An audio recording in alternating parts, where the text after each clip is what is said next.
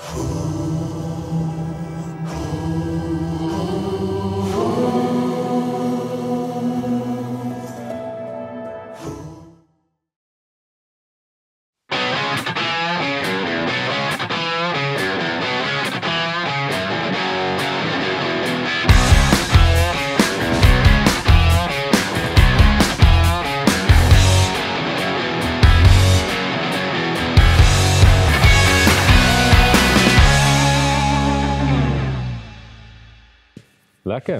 Ons rol. Ricky. Baie baie dankie. uh ek het 'n lekker intro geskryf vir vir nou, maar ek dink toe ek hiernatoe ry, dink ek by myself, ons ken mekaar al vir 21 jaar. Ja. Van 13. Uh maar ek dink ek kan nou 'n mooi ding lees hier en sê hoe amazing dit is hier by jou en jy's amazing. Maar as jy my matriek gevra het, as ek as ek iemand moet kies wat ek dink of in die tronk gaan wees of of 'n uh, uh yes ek weet die dan het, was jy redelik bo op die lys van daai. Maar obviously het dit nie so uitgedraai nie. Ehm um, en ek dink dis dis hoekom ons hier is vanaand. Ehm um, eerste plek dankie dat ons hier dit kan doen. Ehm um, dis in Stilfontein ehm um, van alle plekke. So nee, super dankie. Dit is regtig 'n massive voorreg vir my om hier te wees. Yes man, nee, dankie dat julle moeite gedoen het om te kom. Ek waardeer dit regtig. En uh ja, ek sou nogal self ek sou nogal self gesê dis heel moontlik hoe my uh hoe my blaadjie sou geskryf gewees het. Maar uh, ek is baie baie dankbaar vir hoe goed uitgewerk het en dat op 'n punt in jou lewe kom om om 'n tot 'n besef te kom en 'n besluit te kan maak en te kan kies. En dit is lekker. Wel ons wonderlik. Ek waardeer die geleentheid. Okay. Vir die ouens wat nie weet nie, jy sê wat jy doen. Verkoop jy skrap. Ja. Ja, so. ja. Dis hoekom ons hier is. Ja, hulle sê trash is cash. So ons uh, ons gebruik die goed wat ander mense nie wil hê nie. Ons is in die recycling besigheid uh vir metale, uh, magnetiese en nie metaal, ag, nie magneties nie, so dis staal, aluminium, koper, lood, batterye, stainless steel, daai tipe goed. Ons is nie in die plastiek en papier en glasherwinning nie. Ons ons fokus en ons spesialiseer in die in die metale. Dis iets wat ons baie geniet. Dis 'n uh, is elke dag is dieselfde maar elke dag is anders. So dis lekker, het lekker challenges, baie goeie geleenthede en ou kry met baie mense te doen. En dis eintlik die dis eintlik die lekker ding is met die hoeveelheid mense wat 'n ou kan mee te doen kry op op 'n baie baie klein skaal. Hier kom ouens in met 'n met 'n kruiwa wat R10 se goed verkoop en hier kom ouens in met trokke wat 'n miljoen rand se goed verkoop op 'n op 'n vrag. So dis lekker, dis lekker diverse en ja, dis baie baie lekker. Dis mense, jy like Ja, mense. ja. Okay, kom ons uh begin by punt. Uh kom ons gaan terug na die na die heel begin toe. Ehm um, eintlik op skool half uh vat ons terug sien toe. Hoe was jy? Wat ek obviously ek ken jou nou vir lank, maar uh waar dit als begin? So ek was uh, ek het in Loederingstad groot geword in die laerskool. Uh ek dink start 5 toe trek my ouers hulle rywel toe. Toe ek soontoe, toe kom ek Klerksdorp koshuis toe. Toe is dit lekker. Dis nou onder die onder die dak uit, onder die oog uit, onder die vlerk uit. En uh daai daai was lekker vryheid vir my gewees. Ek uh ek dink ek het 'n bietjie advantage gevat van dit.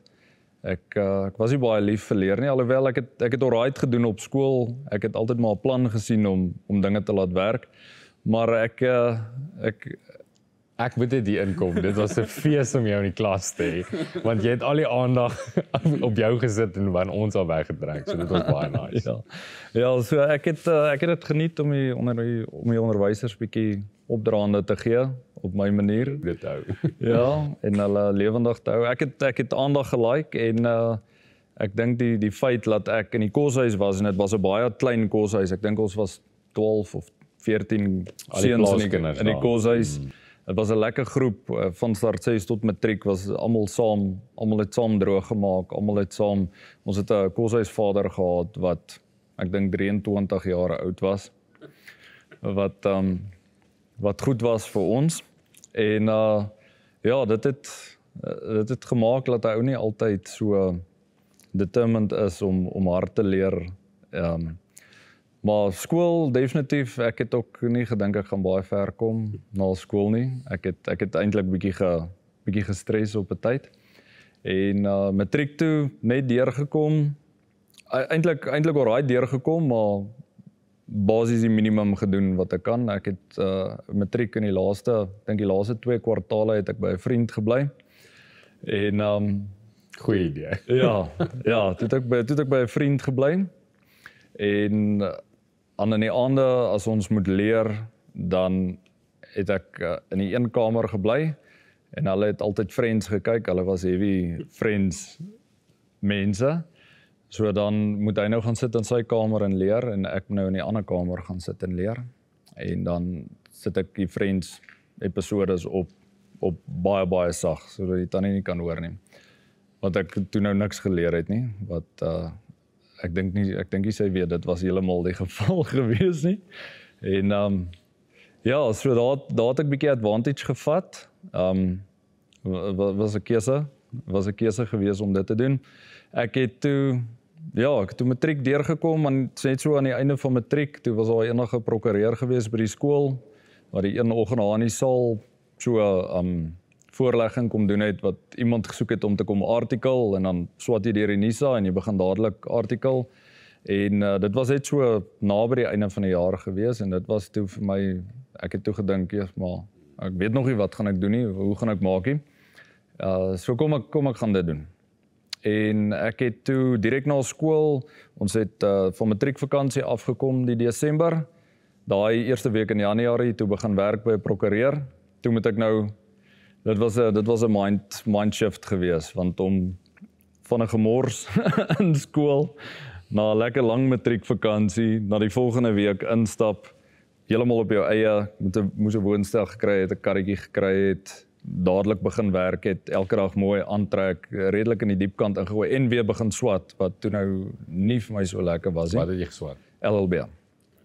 Um ek het begin met dit, ek het so 'n bietjie meer as 2 jaar wat ek toe nou my articles gedoen het, LLB geswat. En in daai tyd, dit was 'n siviele prokureur gewees, maar as 'n ou nou net uit skool uitkom en jy aan aan dink ou dalk jy is nie lus vir die boring goed nie, jy soekie ja aksie. Jy soekie jy soekie aksie. Ja, persoonlikheid soek op ja, ja. Ek het toe ek het toe baie saam met ander prokureurs gewerk wat ons het nie kriminele sake gedoen nie. So wanneer hulle kriminele sake kry of wanneer ons kliënte kry, dan het ek saam met hulle die sake gedoen. Dit was baie dit was baie baie pret. Dit was 'n wonderlike prokureur saam wie ek baie gewerk het ook. Kobus Burger. Ek uh kal my hoed af vir hom tot vandag toe. Hy's vir my hy's hy's vir my baie baie na in die hart. Uh ek het baie lekker goed saam met hom beleef. Ons was op op hofsaake gewees daai tyd waar ons 'n uh, 'n poach poaching saak gedoen het waar die ouens 'n jagluiperd geskiet het. En gepoach het. En die, ja. Ek weet nie hoeveel van die sake kan vertel nie, maar toe ons toe nou die dag, dit was dit was in Tolwe daar teen die Botswana grens en ons kom die dag daar, ek artikel met 'n boshare, 'n lekker afro. En so was daar die saak het eintlik gegaan oor 'n Spanjaard wat 'n uh, jagluiperd geskiet het onwettig. En toe hy hom geskiet het, hy het nie toe kry hulle hom uit 'n koller aan die nek gehad. En toe ons die dag in die hof sit, toe het hulle nou al het mense van USA af iemand van ek ek dink dit was een van National Geographic se mense ingevlieg want dit was luiperds wat deel was van 'n Botswana wille luiperd projek. En die dag toe ons daar in die hof sit, sit lekker daar om die tafel, papiere uit, ek maak notas terwyl die prokureur langs my sit en die landros vra toe nou vir een van die getuies, hulle moet die ou uitwys want ons het iemand anders eintlik verteenwoordig. Um wat nie wat nie skuldig was nie en almal het hom aangekla. En die landros vra toe nou vir die getuies wat daar is, sien julle die man wat die luiperd geskiet het vandag hier in die gebou? En een van die getuies sê ja, hulle sien hom. En ek sit met my rug na die getuies toe, hulle kan my glad nie sien nie. En die landros vra hulle moet hom uitwys want ons kliënt sit net aan hierdie kant. En volgende oomblik toe wys die getuie so na na my toe want hy sien net my hare so aan die agtergrond net daar saak uit. So ons het 'n paar sulke lekker goed gehad. Ek um, goed in jou onthou. Ja, en toe Dit was eintlik baie lekker, maar ek dink in 'n manier het die strafwerk dit dit 'n bietjie gebots met met my persoonlikheid en uh in 'n paar van my ek sal nie ek sal nie noodwendig sê ek of ek wil nie sê values noodwendig nie, maar ek dink met met my menswees het dit nie het dit nie lekker saamgewerk nie. Ek het toe klaar gemaak by die by die prokureurs. Ek het my eie ding pro, probeer doen met 'n uh, verfbesigheid. Um probeer opsit en daai ding het so vinnig soos wat dit opgegaan het, het dit het dit doodgeloop. Ou uh Chris, een van die kollegas wat hierso vandag sommer is, dis eintlik die rede hoe hoekom ek hier begin werk het het uh een middag gery en hy gaan toe na na na die winkel toe en ek was vir die naweek nie hier nie en hy vra toe vir my waar is die winkel? Ek sê nee, die winkel is daar. Hy sê nee, maar daar daar's niks.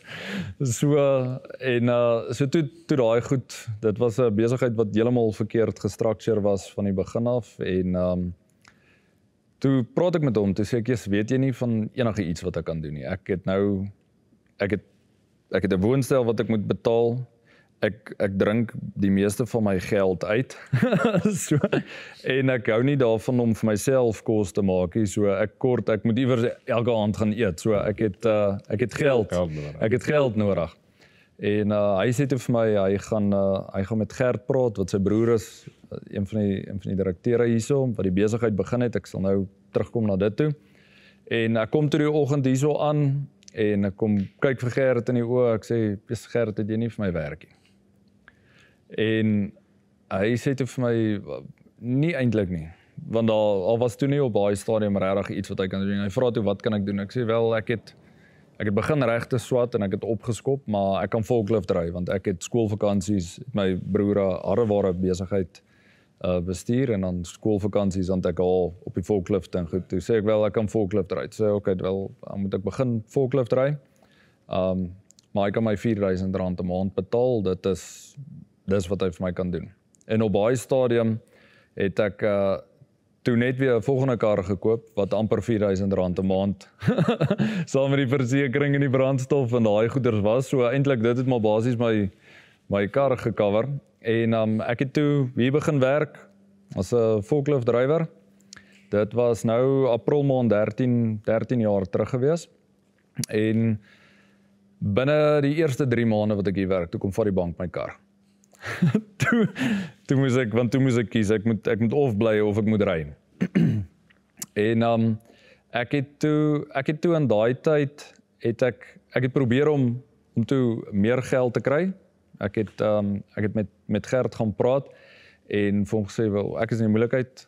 Hulle wil my kar vat en goed en dit is iets waaroor ek baie baie dankbaar is ek het hom vra kan hy my help? Kan hy nie dalk die skuld vir my help betaal of iets nie? En hy het vir my gekyk en hy het vir my gesê nee. En ek moes die ek moes die gevolge toe nou dra vir van die keuses wat ek vorentoe ag wat ek voorheen gemaak het. En vandag is ek baie baie dankbaar vir dit. Ek dink ek het 'n uh, ek het 'n baie goeie les geleer uit dit uit dat 'n uh, ou so 'n bietjie vooruit moet beplan en dink en voorsiening maak en laat 'n ou nie altyd kan pa staan vir iemand anders se goed wanneer mense dit noodwendig van jou verwag. En goed, so dit was uh dit was 'n harde leerskool. Uh ek het toe na 'n paar ek ek weet nie seker dalk na 'n jaar argumente onthaalwe, toe ek van die volklift af oorgegaan, ek het begin kliënte se goed skaal in die stoor, koper, aluminium, daai die die meer waardevolle tipe produkte. En ek het lekker met die kliënte oor die weg gekom elke aand laat gewerk. Vir daai eerste paar jaar dink ek dink ek regtig kan ek op my twee hande tel aande wat ek voor 10 uur, 11 uur wat ons skielik wat ons huis toe kon gegaan het. So daar was baie werk gewees en ons was min mense gewees. Dit laat dit laat lekker uitwerk. Um ek het dit geniet uh om die materiaal te verstaan en elke stuk materiaal wat inkom vir ander mense is dit dalk gemors of 'n skrap. Maar elke ding wat inkom het eintlik maar 'n storie om te vertel.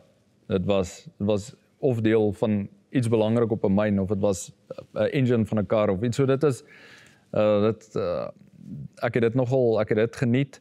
En op 'n tyd het ek toe nou gedink ook ek weet nie of is dit wat ek noodwendig altyd wil doen is hier by die, net by die skaal sit en mense elke dag skaal vuil word huis toe gaan nie. En um ek het toe 'n geleentheid gekry om George toe te gaan. En alles gereël. Ek het bedank hierso en gereël dat iemand op my plek kom om vir 3 weke opgelei en ek het die Vrydag dink ek Vrydag of die Saterdag klaar gemaak. Die Sondag sou ek George toe vlieg. En daai Sondagoggend, ek dink 6 uur, toe gemaak ek en Chris vir Gert wakker. En ek sê toe nee, ek moet met hom praat, maar dit was toe nou vir onsself 'n laat aand gewees. en jy kleer nou hierdie storie heeltemal te ruslerig in. ja. Dit was 'n rowwe pad daai sessie. Dit was dit was 'n rowwe pad. Uh so ook iets uh, dankbaar vir die lesse wat hy ou daar uit kon leer en ook baie dankbaar dat ek nie meer op dieselfde pad is nie. En vir hom gesê, hoorie ek moet nou vandag gaan, ek weet ek het klaar gemaak en ons het klaar iemand op my plek gegaan gekry, maar ek gaan nie meer nie. Dit die oggend besluit wat ek moes gegaan het. En hy sê toe maar wat wat wat doen nou nou? Ons het klaar iemand op my plek gekry wat daar wat 'n ander werk gelos het.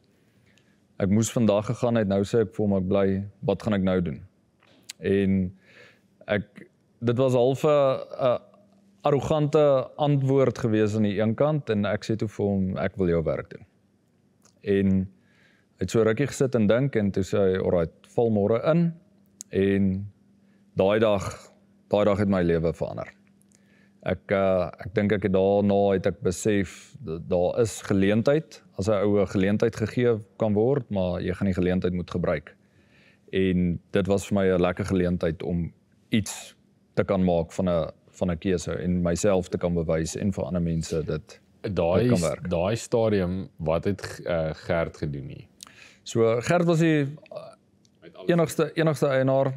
Hy was die ek wil amper sê ons het die uh Chris het die het die staal gedeelte van die besigheid, die die logistieke ding trokke reël reël dat die materiaal op regte plekke afgelaai, dit word geprosesseer, kry dit in, kry dit uit. Ek was binne in die stoor met al die metale en Gert het basies daai tyd al die betalings gedoen, al die orders gevat, al die pryse genegotiate met die mense, vir almal pryse gegee.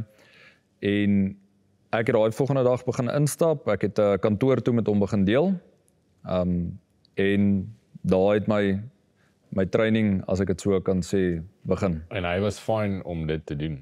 Het ja. jy het jy het jy toe jy dit vir hom sê, het jy jouself gesien dit dran? Ek ek kon myself dit sien ran. Ek het nie gedink dit is 'n ding wat gaan volhou of wat gaan realiseer nie. Ek dink aan die een kant het hy gedink oké, okay, gee hom 'n kans, maar gooi hom in die diep kant in en kyk of ek uh, ou sal ou sal besef dit is nie so maklik of dit is nie so eenvoudig nie. Ek het dit was dit was een van die grootste beste goed wat wat met my kon gebeur het. En ek het dit vandag een af het ek my kop al opgesit en ek het uh klomp besluite anders begin maak. Ek het anders begin redeneer oor besigheid. Ek het baie by hom geleer hoe om met geld te werk, hoe om met kliënte te werk, anderster as net 'n kliënt wat inkom en 10, 15 minute by jou spandeer, maar hoe om meer 'n 'n 'n verhouding nie net met die kliënte wat jy sien nie, maar ook met die buitekliënte en moontlike kliënte te kan opbou. OK, ek het nou julle in die begin gesê hy verkoop skrap, maar dit is nou nie regtig die, die ding nie. Presies, uh julle vat die metale in en dan ja, so ons koop ons is 'n middelman as jy dit kan sê tussen 'n kleiner skrap maatskappy en nie noodwendig net 'n kleiner skrap maatskappy nie, maar ons koop hoofsaaklik scrap metal plekke se skrap hulle aan. Ons um accumulate elke elke produk so ons maak vragte van produkte bymekaar. Daai produkte stuur ons dan soort vir soort uit in plaas van gemengde vragte soos wat ons inkry by die kliënte. Ons supply dit direk aan smelterye en dit word weer verwerk, nuwe materiaal gemaak, staal word weer nuwe staal gemaak, batterye word weer nuwe batterye in lood gemaak, koper word weer nuwe koperkabels gemaak. So ons ons ehm um, die kliënte kleiner scrap metal plekke wat ons wat ons supply ehm um, plase hoofsaaklik ons het spanne wat ons uitstuur en trokke met krane op kan gaan na 'n plaas toe gaan sny die goed laai dit bring dit in skaal die kliënte, betaal die ouens dieselfde dag nog en dan werk op die myne met afbreek van van myne werk saam met um groot demolition companies. Ons sal nou ons sal nou by dit ook kom um, so ja, hoofsaaklik die mynindustrie, uh ingenieursindustrie met al hulle afvalproduk en skroot companies se se materiaal wat ons by hulle vat. So ehm um, Gertjie was die eienaar en hy het uh begin ook inskrap, ook op die yard gewerk, ehm Yes. um, ook hier naby. Ehm um, ja, sê ons bietjie hoe dit Ja, begin. so uh, Gert is 'n baie goeie voorbeeld. Uh nie net vir ons wat hier werk nie, baie mense in die industrie en en in die ja, in die in die scrap industrie. Seker klein gemeenskapie. Nogal almal ken mekaar. Almal ja. almal ken mekaar of die ouens nou in die Kaap is of Durban of Johannesburg of 'n lokale plek in Klerksdorp of Katoo. Almal weet maar van van almal. So hy het hy het ook heel onder begin. Hy het self in die yard gewerk, aande deur gewerk sonder om te slaap. Um hy het 'n geleentheid gekry om sy eie besigheid te begin. Ek dink dit was noodgedwonge dat hy besigheid toe nou maar moes begin. En dit was hier ongeveer 2001 dat hy met R4000 die company begin het. Materiaal aangekoop, dadelik weer verkoop, geld teruggedruk in die besigheid, van al daai kapitaal weer gekoop, verkoop en die hele tyd net opgebou, opgebou. Jy sê net met R4000 hier is 'n trokkie agter ons wat 4.5 Ja, miljoen vier, ja. se koper in het. Dis ridiculous. Ons dit's 'n massive dis, Ja, 'n dit is storie.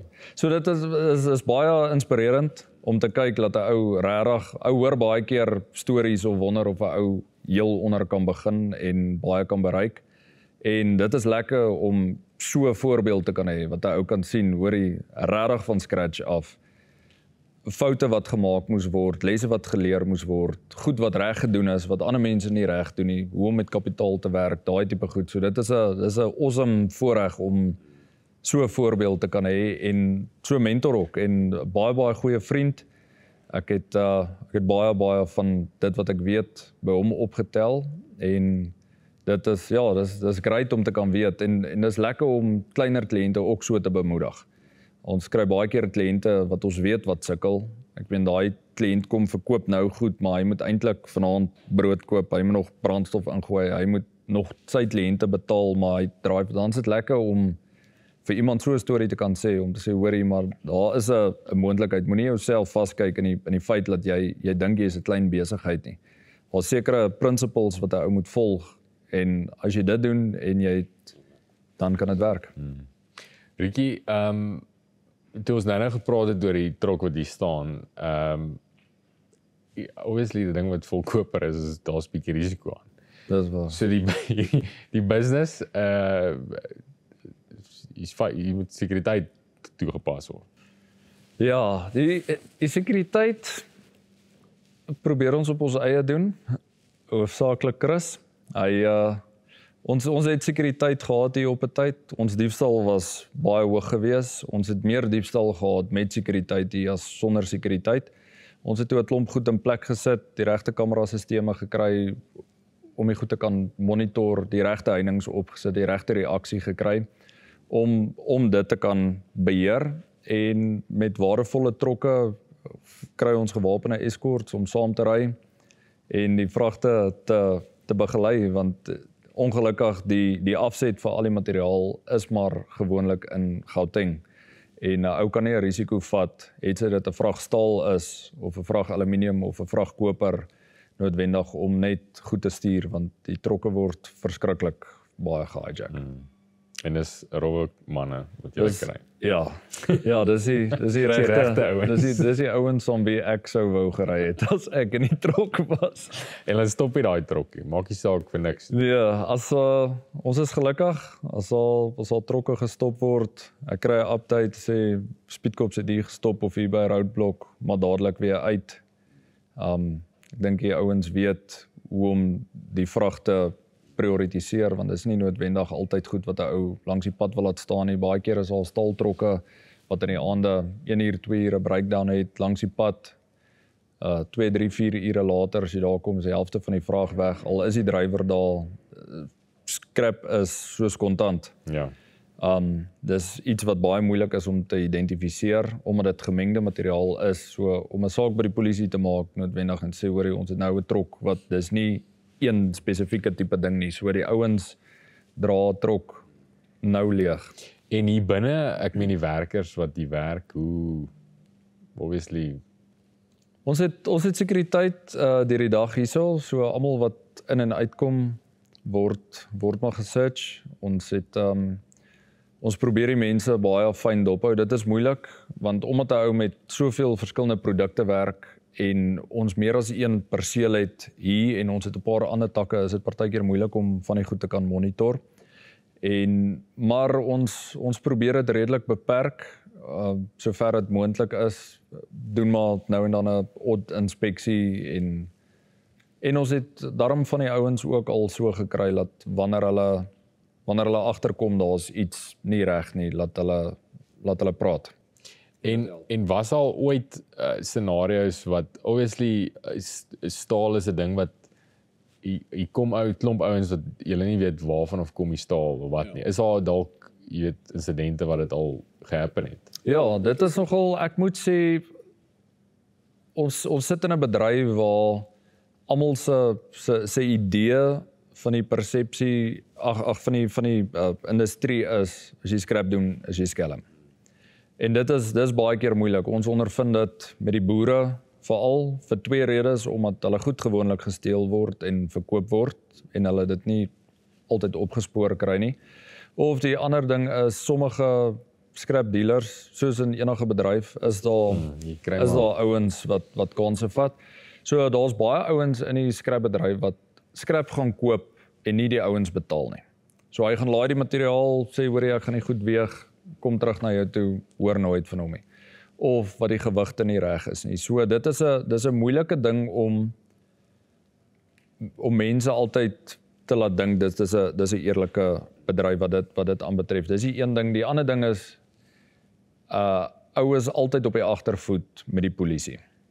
Maak nie saak hoe goed jy 'n ding op die boek doen nie. Al jou ons kry ons het in 2018 het ons um metale aankope van die publiek af gestop om die risiko vir sulke tipe goederes minder te maak want daar was al insidente wat weer toegesluit is as gevolg van 'n stuk koper wat Telkom of Eskom of Spoornet sê hierdie is ons materiaal ou word toegesluit, daar word 'n saak gemaak. Op die einde van die dag kan jy bewys dit was nie hulle se nie. Hulle kan nie bewys dit was hulle se nie. Saak word uitgegooi, maar om deur daai proses te gaan, klomp kostes, uh dis dis dis 'n traumatiese ding ook om om deur te gaan en dit is so asof die polisie het 'n uh,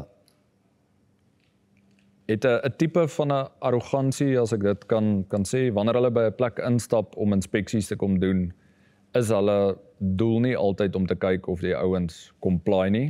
Hulle probeer kyk waar kan hulle waar kan hulle fout vind of op watter manier kan hulle die ou ons sit met 'n kliënt wat ehm um, nie lank gelede nie polisie by hom ingestap gesê hoor jy al daai materiaal wat daar lê 'n klomp koper ek dink dit was 5 of 6 ton koper daai materiaal is alles staat infrastruktuur goed hulle het op alles beslag gelê kla op jou aan vir damaging of infrastructure, uh, besit van staat infrastruktuur goed en op die einde van die dag was dit nooit die staat se materiaal nie. Die ou kon bewys waar die goed vandaan kom.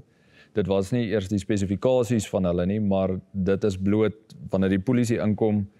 En dit is hartseer want as jy die polisie bel vir vir 'n probleem, dan kom maar een of twee ouens uit of hulle het nie 'n bakkie nie, maar wanneer hulle kom vir 'n inspeksie of 'n raid, dan stop daar 20 bakkies met 40 mense en is chaos. Al die kliënte skrik hulle dood want wat maak al hierdie polisie ouens wat hier verbyry by enige skrap metal plek as die polisie daar is, dink dadelik ja, daai ou. Kyk waarmee is hy besig. Kyk die polisie is polisie is daar vandag en maar ons ons het so in 2018 het ons die publieke aankope so soveel as moontlik beperk en sekere produkte wat ons glad nie van die publiek afkoop nie wat ons net by geregistreerde dealers of iemand soos 'n electrician of 'n 'n myn of 'n ingenieursmaatskappy by koop wat hy ou kan wys hier's ons ons invoice daar's ons die delivery note hier's die oorsprong van die materiaal. Ons kan bewys dit is nie enige staatmateriaal nie ons kan bewys dit is nie gesteelde materiaal nie. Waar ou die hele paper trail het, het Ons stelsel is van so 'n aard elke liewe transaksie wat inkom word op 'n ID gelink. Of word 'n foto van elke item geneem direk deur die deur die stelsel sodra hy geweeg word. Alles word gearchive, so dit is alles op die database. Wanneer die polisie aankom of enige iemand wat sê ek vermoed daai is my tipe goed, kan hy ou dadelik teruggaan daarna. Jy kan die materiaal, jy kan die uh, foto beeldmateriaal kan jy gaan trek. Jy kan gaan kyk hier is die ou data geteken, hy is die wettige eienaar of hier's 'n polisieverklaring of 'n company briefhoof wat sê die ou is geregtig om die goed te kom verkoop en dit is ook dan die tipe papierwerk wat ons sal saamstuur wanneer ons materiaal gaan verkoop om te te wys dat 'n ou die hele loop gedoen het en jy laat laat jy laat jy die game reg speel. Ja, dit is belangrik. Hoorie, okay, kom ons gaan gou terug ehm um, toe Gert jy ons in kantoor gesit het. Ehm um, jy het nou nou gesê jy het lang ure gewerk, maar ek kan nou getuig, ek weet jy jy werk nog altyd baie lank en baie hard.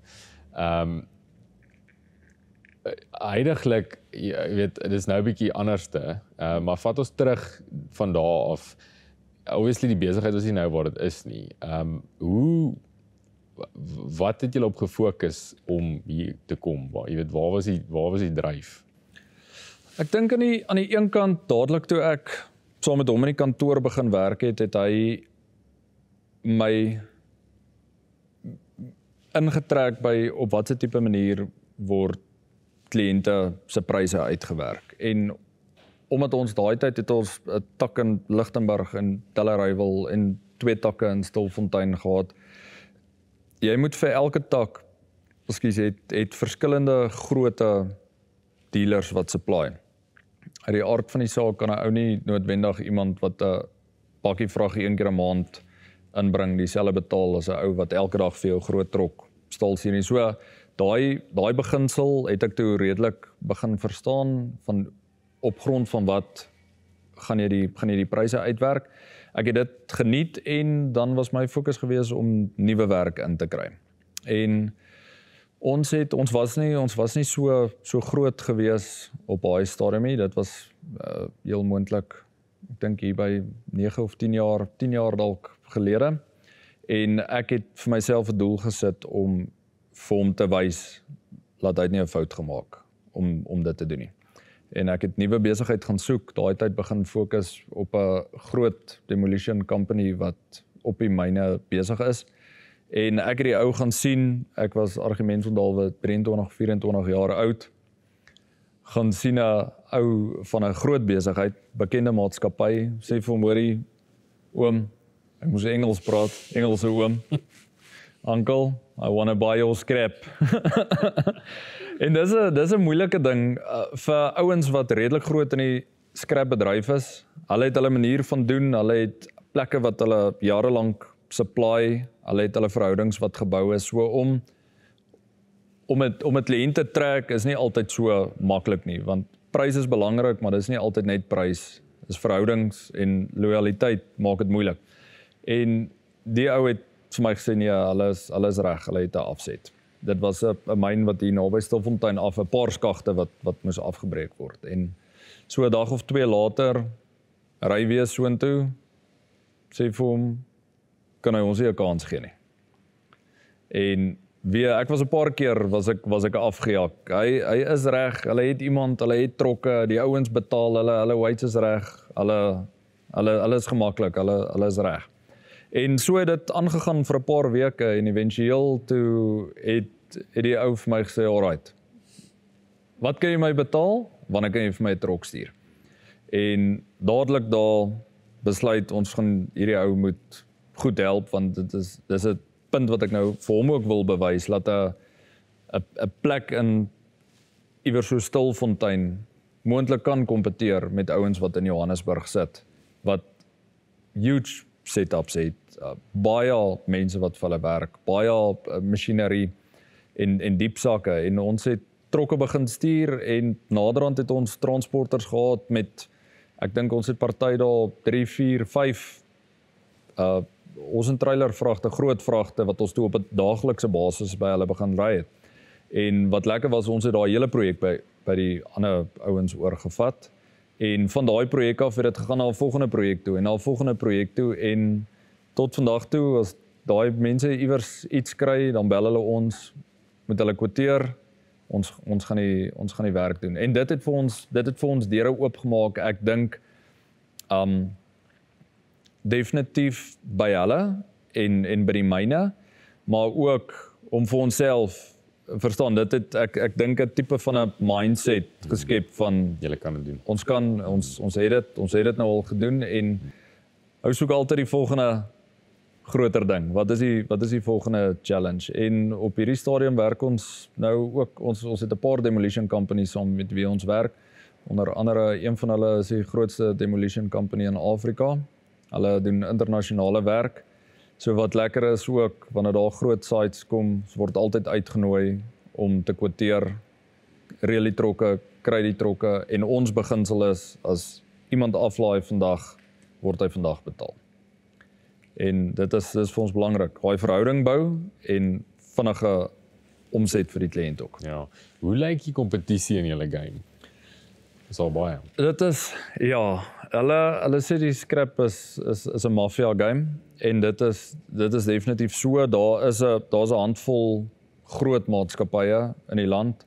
Van hulle is al in 'n tweede of 'n derde generasie wat hulle hardloop wat eintlik die die scrap mark domineer. Want as jy gewoonlik as jy scrap doen verkoop jy aan sê nou maar een van die vyf ouens en wat dit moeilik begin maak het hulle sal byvoorbeeld as jy as jy aan hom supply dan sal hy nie regtig in jou area rondkrap nie want omdat die scrap mark so klein is, almal weet van almal. So as hulle materiaal uit hierdie area uitkry, is hulle tevrede. Maar as 'n ou vir een of ander rede dalk aan iemand anders begin supply, dan maak dit die deur oop om van daai buitekompetisie, groot kompetisie in jou area in te bring. En dit was dit was 'n ding wat wat gebeur het en wat tot vandag toe nog gebeur, maar ons het dadelik gesê ou gaan nie laat laat dit jou fokus steel nie en dit is nie altyd die grootste honde wat die seerste byt nie. So kompetisie is al vreeslik baie veral in in tye wanneer wanneer die skrapmark stiller is en die smelterye hulle sit met al hulle orders, hulle produksie moet hardloop, so of die prys laag is of hoog is, hulle moet die materiaal inkry en dan begin hulle druk sit op die ouens wat hulle supply en sê hoorie julle moet aflaai of hier is die target vir die maand of hierdie is die kontrak en 'n ou commit op daai op daai tonne en jy moet dit lewer en dan's dit moeilik om te kry want dan gaan 'n ou dalk na nuwe kliënte in 'n ander area toe en hy verskaf reeds aan een of twee of drie van daai groot oppositiemaatskappye. Maar wanneer dit lekker is is wanneer wanneer 'n ou dit reg kry om van daai besigheid weg te vat en weg te hou. En ehm um, daar soos ek sê, die die verhoudings is vir ons. Verhouding ons sit altyd verhouding bo die produk. Hmm. Ja, ek dink 'n uh, beginsel net vir my ook jy gaan altyd kan geld maak. Hmm. Maar dit gaan oor hoe jy dit doen. Uh, ek het in die week ook met iemand gepraat, dis uh, ook geïnterview en hy dit uh, geld sê daar's altyd kans vir dit. Maar dit is geleentheid. jou besigheid gaan nie 40 jaar bestaan as jy nie die regte goed doen nie. Dis definitief um, so. Ehm, en ek dink uh, veral met julle nou daar's seker ouens wat groter is as julle of jy weet daar maar die feit dat julle sekere beginsels het wat jy betaal om dieselfde dag. Niemand anders obviously ja. kan, is daai commitment daar nie. So ek dink dis nogal 'n ding wat wat wat heavy ehm um, uitstaan op 'n persoonlike noot. Ehm um, ek dink kom ons gaan 'n bietjie terug. Jy uh, is obviously nou 'n pa met uh, drie amazing kindertjies uh en 'n goeie man. Ehm um, vat ons terug na die jou jou jou storie na jou vrou toe. Ons gaan nou weer aangaan met die besigheid want ek wil jou iets vra daaroor. Asai. Maar ek dink vat ons terug na waar hoe jy nou 'n pa is. Asai. So my my vrou is so 4 jaar jonger as wat ek is. Ek het uh, toe ons matriek is, toe ek geweet van haar. Haar sussie was goeie vriende ook van ons, ook deel van die van die stout groepie. en um rook agter die uh, paviljoen. Ja, ja, rook agter die paviljoen. En ook waar ons partykeer gebank het, um was lekker naby aan die skool gewees. So ek het ek het geweet van my vrou al in matriek. Um dit en toe nooit nooit kontak gehad nie. Ons het mekaar glad nie geken nie, nooit kontak gehad nie. Sy het agterna uh toe ons nou ek dink begin uitgaan het of verloof geraak het, toe sê sy sy het my altyd geken, maar sy het my geken as Ulrich se stout maatjie. En um so dit was dit was dit was wie wie ek was vir en um ek het eendag ek het eendag op Facebook uh het sy het sy 'n uh, 'n status opgesit en ons het mekaar op Facebook gehad en ek het ek het haar reply op die ding want dit is nogal iets wat my geraak het. My vrou is verskriklik dedicated, heavy goeie voorbeeld. Sy uh sy het haar hart vir die Here ten volle gegee al op 'n jong ouderdom. Um op universiteit al was sy regte lyn gewees en in daai tyd ek nog nie heeltemal so lekker nie. En ek het die die ding wat sy die dag het sy gepost en ek het toe vir 'n uh, uh, message toe gestuur en vir haar gesê dankie, dankie vir dit. Dit was wat ek nodig gehad het om ek ek het dit nodig gehad vandag. En sy het toe terug vir my gestuur, sy is bly dat kon 'n verskil gemaak het en dit, ek ek glo dat dit moes so gewees het al was dit net vir my om dit raak te lees. En ons het begin praat en so het ek vir haar gesê, "Wel, kan ons nie maar gaan koffie drinkie?" en sy het, ek dink sy het 'n bietjie ge-worry oor wie wie ek nou is. Jy het Patasie geken. ja. En uh, sy het dit sy het dit baie mooi beplan van waar by watter hoompie ek haar moes gekry het en ja, daar moet ja, want ek dink nie sy het lekker geweet wat om te verwag nie. En nou ek het uh, ek het al aangekom. Jy, sorry, het jy al daai moerse rot gesien wat hy daar het? Dit was crazy. Maar ja, dit is nou Dis 'n skrap rot. Hierso gee die rotte die katte gas. En um ja, ek het uh sy toe vir my gesê agterna haar enigste expectations is ek moenie laat wees nie en hoe gaan ek daar aankom? En ek dink ek was ek dink ek was op tyd gewees wat darm een van haar boksies was want gewoonlik as ek laat vir enige iets nou nog as ek 'n ding dit werk net nooit by die werk so uit dat jy dat jy betyds is. Ons het begin koffie drink en uh toe lekker begin klik en ek het dadelik besef dit is dis wie ek wil hê. Dis die tipe vrou wat ek wil hê, dis die tipe ma ek ek kan klaar sien sy die regte eienskappe en dit is iemand wat my gaan op die regte spoor hou en inspireer om op die regte spoor te bly. En ons het ons het uh, die een jaar, ek dink dit was 8, 9 jaar terug, 9 jaar. Ons het begin uitgaan so in die in 'n derde omtrent van die van die jaar einde einde van die jaar verloof geraak Desember dadelik geweet sy het ook geweet dit is dit was van die van die begin af was dit reg gewees die volgende jaar Desember getrou volgende jaar Desember het ons eerste kind gebore sy is nogal iemand wat hou van van beplanning en skedule sy, sy is eintlik 'n uh, wat sê ek swat Sy's 'n uh, chemiese ingenieur. Ja, so, so eintlik is sy 'n rocket scientist. Hoog hoogste gekwalifiseerde ma. En um, ja, so ons het ons het getrou wonderlik, wonderlik, wonderlik. Sy is vir my goed van my lewe sal gemors wees sonder haar. Drie wonderlike kinders nou. Uh seentjie van 6, dogtertjie van 4 en 'n ander een wat nou 2 word. En dit is ja, dis amazing. Dit ek kon nie vir beter vra nie. So Ek dink ehm um, kyk jy het vas bietjie rondval in die begin, maar jy is nou nog as jy besluit op 'n ding, jy het 'n baie 'n uh, duidelike visie van iets. Ek dis miskien 'n soos 'n heavy ehm um, is miskien 'n gawe wat jy het wat min ouens het, want as ek ek ons as ek met jou praat dan is dit asof jy dis die volgende ding. Jy, jy is nou ons gaan nou 'n bietjie praat oor jou beeste of wat ook al, maar jy het altyd 'n uh, jy sien altyd 'n gap, jy sien altyd 'n uh, uh, en ek dink soos met met Delana ook, jy jy het gesien dis wat jy wil hê, dis wat jy wil doen. Uit toe jy die kom maak met Gert, het jy gesê okay, ag gaan jy wys, dit ek jy wys. En dedicated ook met met ek meen die die daai demolition ouens, dit 'n ander ou het net gesê uit nie gesê, sorry, dit dit is maar net so op daai punt ehm um, wil ek met jou chat oor 'n ding. Ehm um, jy het nou hier gewerk, maar jy het 'n massive gap gesien. Ja. Okay. So vat ons deur die proses. Uh wat het gebeur? So net jy wat nou praat van die gap. Ek het ek het eendag het ek in 'n het ek in 'n besigheidsboek. Ek het toe ek nou begin sien ek gaan nou die besigheidswêreld Ja, in. besigheidshou. toe ek uh, is amper een soos daai business 101. Dis eintlik 'n ding met sulke spotprentjies en goed by, want ek moet dit ek moet ja, ek moet dit redelik eenvoudig uh, gekry het. En ek het 'n ding in daai boek raak gelees 'n paar jaar terug wat wat by my gestiek het wat sê is a gap in the market but is there a market in the gap.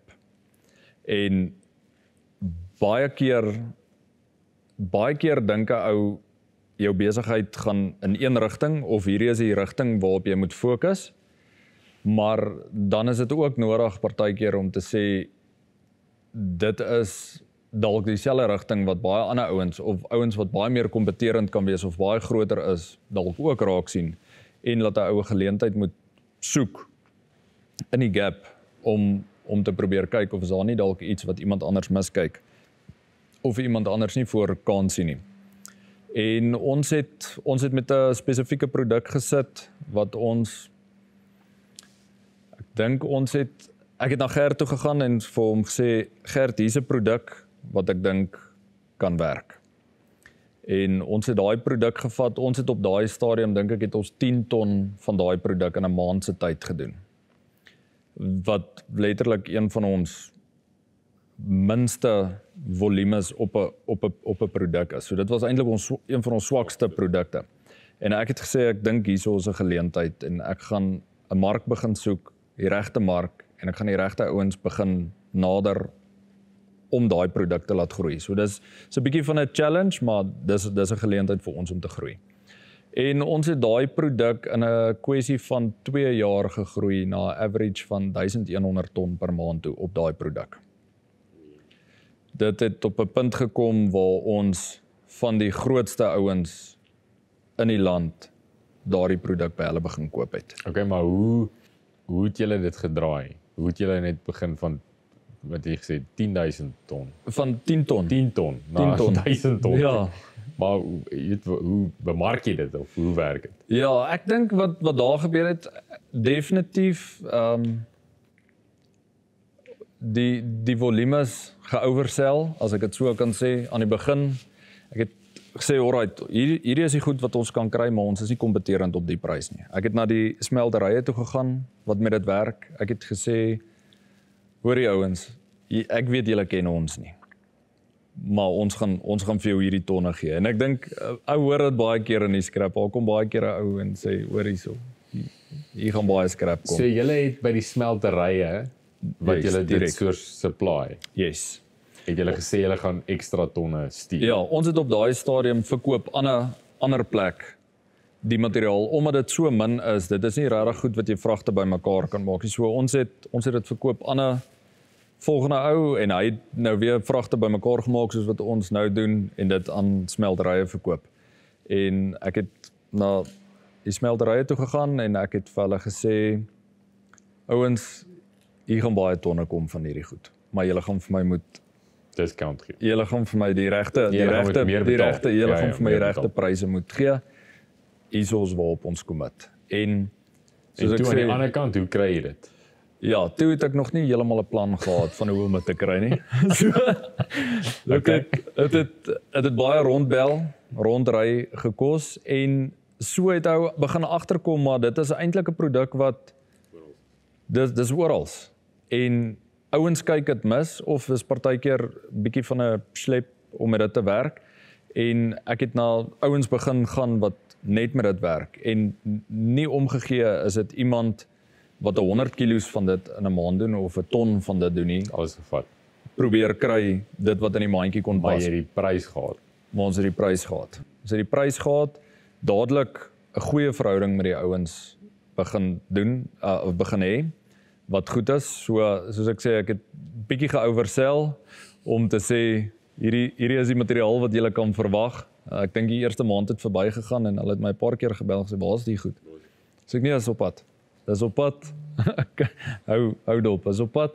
En um toe begin van die materiaal inkry en toe begin agterkom maar as jy die materiaal anderster verpak of as jy dit bietjie anderster verwerk, dan is daar 'n premie wat jy kan kry. Of as jy die materiaal bietjie beter uitsort of sekere goed uitsplit uit dit uit, dan is daar dan is al meer goed wat 'n ou kan of beter value wat jy daar uit kan kry en elke bietjie prys wat ek ekstra kon kry, het ons ekstra betaal. Sonder om ekstra profit vir ons te probeer hou want die die die doel was gewees om die volume te laat groei. Nie om te probeer kyk hoeveel geld 'n ou uit die produk uit kan maak nie. En soos ek sê binne 'n jaar se tyd het dit het dit een van ons beste produkte geword. En tot vandag toe is dit 'n uh, is 'n baie baie goeie produk van ons en ons het op 'n tyd gekom waar ons met ons het in in in hierdie stoor gesit dat 'n ou nie 'n bakkie by daai voordeur kan intrek nie omdat die hele stoor vol van dit gestaan het want die mark was gevlat. Die smelterye kon nie die materiaal vat wat ons het nie. En dit was want die die markte alles alles dis dis 'n kommoditeit. Al die al die skrap is 'n tipe kommoditeit, dit sê dit staal of aluminium of koper is en en alles is gebaseer in dollars. Alles is op die wêreldmark. So as daar iets in die wêreld vinnig skeef gaan en en die pryse val, dan kry dan dan voel ons die impak van dit. En van die smelterye het op 'n punt gekom waar hulle cash flow nie lekker was om die kliënte dadelik te kan betaal nie, wat 'n probleem sou wees. Uh die ander het nie kapasiteit gehad om dit te kan doen nie en Ja, dan toe ons op 'n tyd, dan kry ons 'n ton vir 'n ag 'n order vir 100 ton 'n maand, maar ons kry 1000 ton in. Wat 'n ou met produk begin produk begin sit het. En in daai tyd net so net so voordat 'n probleem begin raak het, as ek dit so kan sê, toe gaan ek eendag na Gert toe en ek sê vir hom Gert, ek het 'n plan. En hy vra toe vir my wat wat dit is wat ek wil doen en ek sê kom ons sny die middelman uit heeltemal. Kom kom ons sit 'n kom ons sit 'n plek op wat ons ons eie end user kan wees. Daardie materiaal ons self kan supply, ons weet dis die kapasiteit wat 'n ou het en iemand anders kan nie môre vir jou sê maar jy het net 'n klein order of ons het nie geld om jou te kan betaal nie. Jy jy sit met die produk en jy sit met die afset vir die produk ook. En hy het eers gesê nee, Ja, dis nie ons game nie. Ons is in scrap, ons koop en ons verkoop, ons verwerk niks. Ons maak nie 'n produk uit iets uit nie. Dis nie ons game nie. Fokus op die scrap. Hou hou by dit. En ek is al ek is al uit nie heeltemal die antwoord wat ek wou gehad het nie. En ek het toe vir 'n jaar lank het ek daai mark bestudeer heavy intensief. Ek het elke dag die markte dopgehou. Ek het spreadsheets en grafieke vir my opgetrek. Ek het navorsing gedoen, ouens oor see ge-email. Ek het om te probeer uitvind hoe maak hulle, wat wat werk, wat werk nie, wat is die toekoms van die produk? Waarvoor moet 'n ou pas op? En niemand wil vir jou daai tipe raad gee nie, maar ek het vir 'n vir 'n jaar lank het ek toe so 'n selfstudie gedoen. En eendag toe stap ek na hom toe en ek sê kom ons gaan drink koffie. en ons jy doen dit gesond. En ons stap hier in die boardroom in en ek ek dink ek het op die iPad of iets het ek het ek my hele beplanning alles so gemaak en ek sê toe vir hom Gerdies wat ons moet doen. En ek weet jy het gesê nee, maar hoor net. En ek het ek het die ding vir hom gepitch en ek het vir hom gesê dis die tipe equipment wat hy ou gaan nodig hê. Dis hoeveel start-up koste ou gaan hê. Ons het die produk. Ek het klaar vir ons verskillende afsette gekry wêreldwyd wat 'n ou kan wat 'n ou kan explore en net daar te sê vir my ek ons doen dit. En dit was lekker. Dit was 'n lekker gevoel. Okay, maar die afsette wat jy so wat julle okay, toe begin julle die smeltery. Yes. Self. Ja. Ons het ek het um, op daai stadium was dit in in Johannesburg. Okay. Germiston. En ons het uh, een van ons groot kliënte ook met daai produk wat 'n wat 'n baie goeie vriend is ook vandag. Dadelik en dit is iemand wat 'n agtergrond het van die van die smeltbedryf want as hy uit die uit die skrip bedryf uitkom, 'n ou weet nie hoe werk 'n smeltery want 'n ou sal dink dat jy vat iets en jy gooi dit in 'n hoond of in 'n pot en iets anders kom uit. Maar dit is ongelukkig nie so nie want elke metaal wat hier is, is 'n resep van iets. Hy hy moet bietjie van die, bietjie van daai, bietjie van dit om 'n eindproduk te kan hê want as jou eindproduk nie reg is nie, gaan jy dit nie kan verkoop nie. En dan dan is daar geen uh value added op die op die produk nie. En die kliënt gebel en gesê sal jy weer so iets doen? En hy het gesê nooit in sy lewe nie. En ek sê toe vir hom, "Oké, okay, maar kom kom ons oorweeg dit." Hoekom wou hy dit nie doen nie? Ek dink hy was Hy was nie- hy was uit die bedryf uit. hy was uit die bedryf uit, ja. Hy hy's hy's in 'n tyd hy hy was 'n paar jaar wat hy in die skrapbedryf is. Hy's nou redelik gesettel. Um was nie lus meer vir mense en vir kompetisie politiek en vir ek wil amper sê hy hy's hy's op 'n tipe van 'n retirement sit sit by die see en om nou weer in 'n ding ingetrek te kan word. Maar éventueel toe toe sê hy vir my dis reg, hy sal hy het vir homself beloof hy sal dit nooit weer doen nie, maar as daar iemand is wat hy so 'n projek sal saam aanpak, dan dan is dit ons. En op daai stadium het hy en Gert mekaar nog nie eers geken nie. Eh, Alhoewel ons al vir 'n paar jaar met hom besigheid gedoen het, dit was een van my kliënte, elke dag mee gepraat en so kom dit toe op 'n punt wat ek sê alright, maar dat- julle twee ouens moet mekaar ook dan nou ontmoet. Hierso is 'n hier's 'n geleentheid vir ons en hoe gaan ons hierdie ding opsit? En ons het ehm um, wat die lisensies en goed aanbetref, dit is 'n ongelukkige ding wat baie tyd vat, baie environmental affairs goedkeurings wat eers gedoen moet word. Jy moet die regte persele kry. Ons het dit vir omtrent 'n jaar lank gedoen en laas jaar Okay, 1 wie, April. wie wie dit gedoen? Wie het al wie het uitgevind wat wat het jy nodig om dit te begin? Ek Want het ek meen enige ou kan nie van die straat af 'n smeltery Nee. begin nie. Dis 'n- nee, so dit was dit was een van die challenges geweest want jy kan nie jy kan nie na een van die oppositie toe gaan of na 'n bestaande smeltery en sê hoor die ouens waar waar begin 'n ou of hoe maak 'n ou of as die ding nou klaar gemaak is aan wie verkoop jy nie dit is nie dis nie raad wat jy wat jy iewers gekry nie so dit was 'n dit was 'n leerskool geweest wat 'n ou jy jy bel net vandag iewers heen of dit nou environmental affairs is of iets en jy sê hoor hierso dit is wat 'n ou wil doen dan stop hulle ou net daar. Sê nee nee nee dit voor jy dit moet doen is daar eers hierdie en hierdie en hierdie stap wat moet gebeur. Maar hulle het nie vir jou kontak detail vir dit nie. Dan moet 'n ou probeer uitvind en so hoe hoe verder 'n ou in die ding ingaan kom 'n ou eintlik agter dat jy jy dink jy gaan 'n jy gaan jy gaan 'n ding opsit en jy gaan 'n en jy gaan 'n produk maak.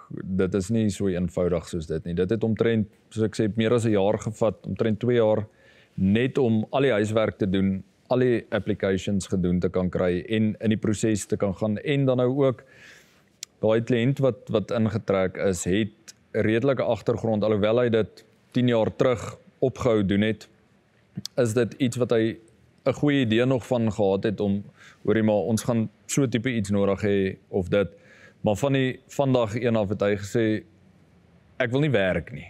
So ek wil nie ek wil nie dit dit moenie my probleem wees nie as ek dit so kan sê. So hier's wat gedoen moet word, maar ek weet nie wie om te bel nie, ek weet nie wat nie en so het 'n ou die draadjie begin vat en jy het hom van 'n punt af gesê dis die stap wat volgende moet gebeur.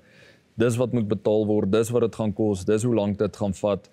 Dan moet 'n ou die regte ingenieurs kry om die om die equipment te bou en jy moet weet van watse uh plek oor see af jy watse equipment moet invoer wat dalk beter is as 'n as 'n lokale produk en ons het daai daai huiswerk gedoen was oor see gewees het ouens gaan sien het regte afsette gekry vir die produk ons het die regte uh, equipment gebou redelik tegnologies gevorder dit is dit is 'n uh, plant wat hardloop ek dink 4 of 5 mense so effektief is dit in vergelyking met ander ouens wat met 100 of 200 mense in 'n plant sit. So ons het die ons het dadelik gesê ons wil die regte kapasiteit hê om al ons materiaal te kan hanteer en ook om te kan groei, maar dan ook equipment van so 'n aard te hê dat jy nie elke dag sit met 'n maintenance ou wat voltyds daar moet wees om die goeders te kan doen nie. is uh, julle doen net julle eie goed deur daai smeltery. Doen julle ander ouens. ja, so omdat ons omdat ons 'n redelike breë netwerk het van ouens by by wie ons voed aankoop. Ons kry materiaal van die Kaap af, van Durban af, van Botswana af, van Namibië af, Vrystaat, basies die hele land.